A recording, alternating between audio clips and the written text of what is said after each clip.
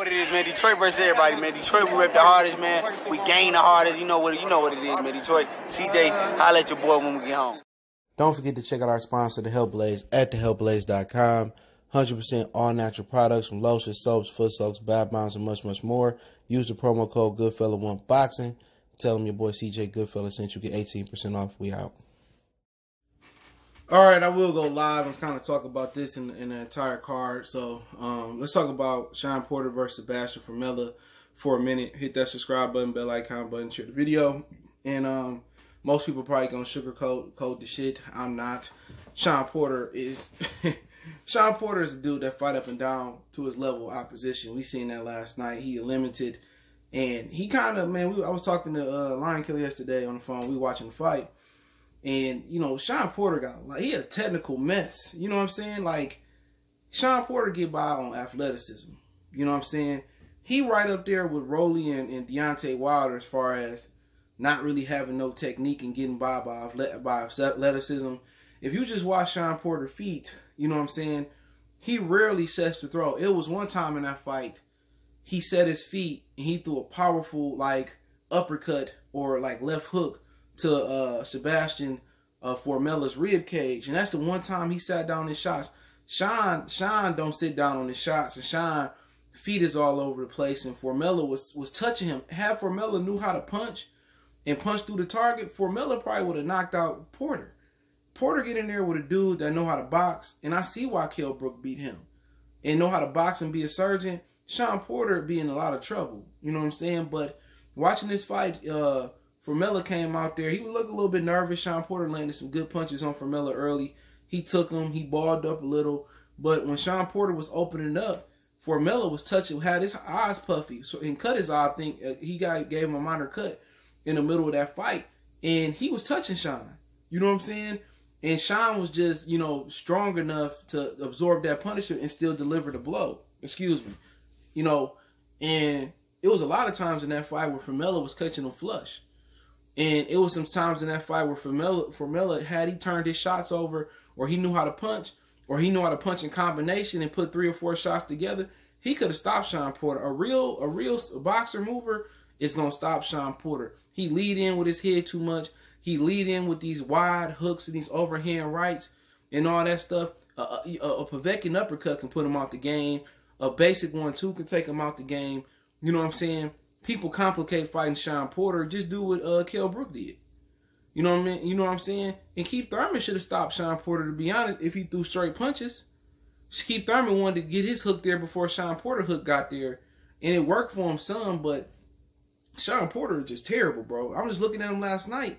Like he he got so much athletic ability, hand speed. He getting bobbed just by off of hand speed, foot speed, athleticism, strong kid you know what I'm saying? But technically, he don't know how to deliver a punch.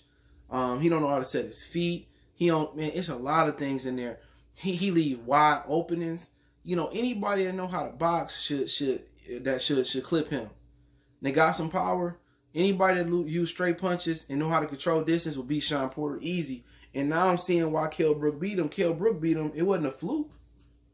Dude, excuse me. It wasn't no fluke. Shawn Shawn Kell Brook just just kept it simple. Every time Shawn Porter opened up, Kell Brook would just tap him, touch him, bob, bob. And every now and again, he'd throw a left hook or uppercut in there. And Formella, Formella was in there touching Shawn Porter, bro. Like, you supposed to get a guy out like that out of there. He supposed to get him up out of there. And this dude had Shawn eyes all puffy, and Shawn was trying his hardest to get him out of there. But Shawn just punching while he moved. It was sometimes he was jumping off his feet and punching. We think he is Ryu or Ken. I remember Teofimo Lopez did that in one of his early fights. He jumped off the floor and punched. You know, but you know, last night nobody gonna talk about that. Everybody talk about oh who Crawford fight next. Crawford opponent is gonna be better than Formella. You know what I'm saying? And then you come out there and you you you didn't steamroll this guy. This guy went 12. You couldn't finish this type of opponent off. Just to let you know how good Errol Spence and and those PBC welterweights really are. They not that good. They just look good because they fighting each other. And they names. They've been around so long. They should be some type of names, but Shawn Porter need a new trainer. Real talk, Shawn Porter need a new trainer. Shawn Porter should be way more powerful than what he is. You know what I'm saying? Shawn Porter should be a better puncher, better defensively, better technically. He just jumping in and willing in with shots. You know what I'm saying? Anybody that got some length and some height, they gonna put Shawn Porter lights out. You know what I'm saying? Errol Spence can't box. He don't have those boxing skills. He more of a he more of an aggressive fighter. Like like somebody like Crawford to put that motherfucking power out. If they weren't friends and they was enemies, and he went man, somebody like Crawford put him to sleep. You know what I'm saying? Somebody with some height, a little bit of height, and a little bit of reach, putting that putting that Joker down, he getting euthanized. You know, I see why he don't want to move up and fight the Jamels and go, they would put him to sleep. They will put that kid to sleep. Anybody that can see them openings, man, he just getting tagged religiously. Boom, boom. You know what I'm saying? This dude just didn't know how to punch. He getting tagged. And, and this is who y'all said somebody like Bud is ducking. Shawn Porter don't have no tech. Shawn Porter out there just an in shape street fighter. I'm sorry to say it. he ain't got no skills, bro, for real. He ain't got the skills that he need, bro. He can be probably one of the better welterweights, but his daddy holding him back. You know what I'm saying? His daddy straight holding him back.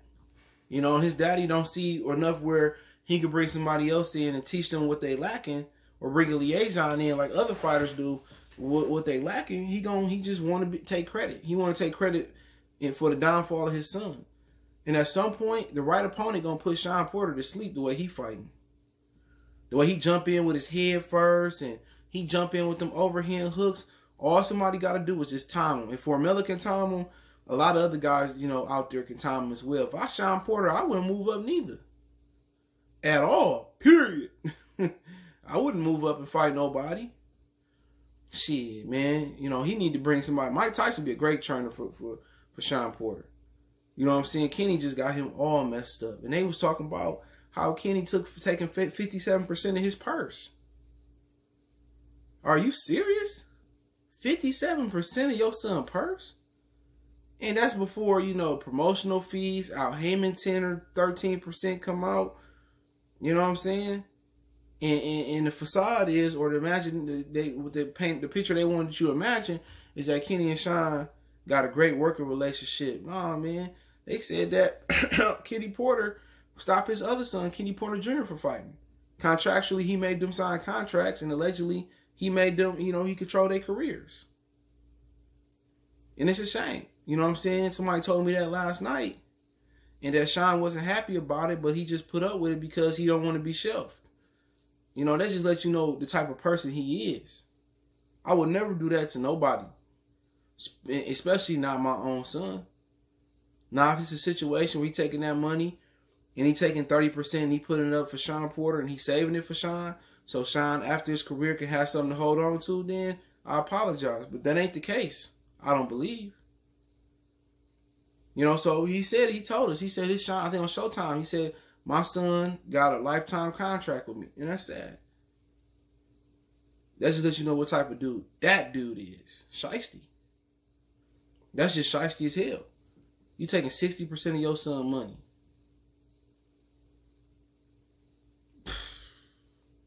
And this who y'all and this is and this and if come on and then you you ain't even worth 60% as a coach. You know what I'm saying? Like like your son missing a lot of the basic fundamentals.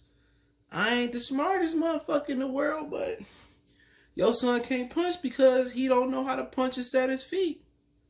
He squaring up versus Formella straight up.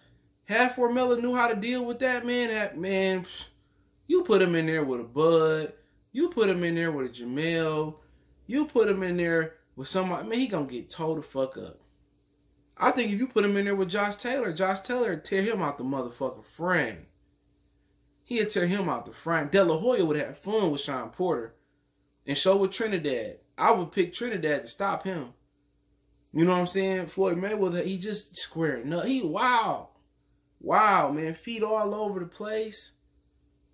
He punching while he moving, jumping while he punching. You know what I'm saying? Getting that white boy was tagging. Had that white boy had some power, he could have got the stoppage. Had he had that Joe Smith Jr. last night, he got the stoppage. But hey, it is what it is. Let me know what you guys thought about the fight. I go live and talk about it a little bit later. I'm trying to go on before tonight. I'm gonna try to get it in in the afternoon. Of my slate is clear. But hey, let me know what you guys think. Shawn Porter did win a unanimous decision.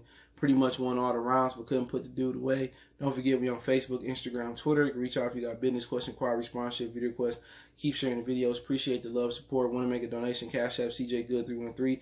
PayPal link in the description. Mr. Cash App username that's in the uh, description as well. Want to make a donation to the channel? Uh, best way to do that is share the video. Appreciate the love, support. Check out Fight Reaction for more playlists, for more videos like this on the playlist. One time for the one time.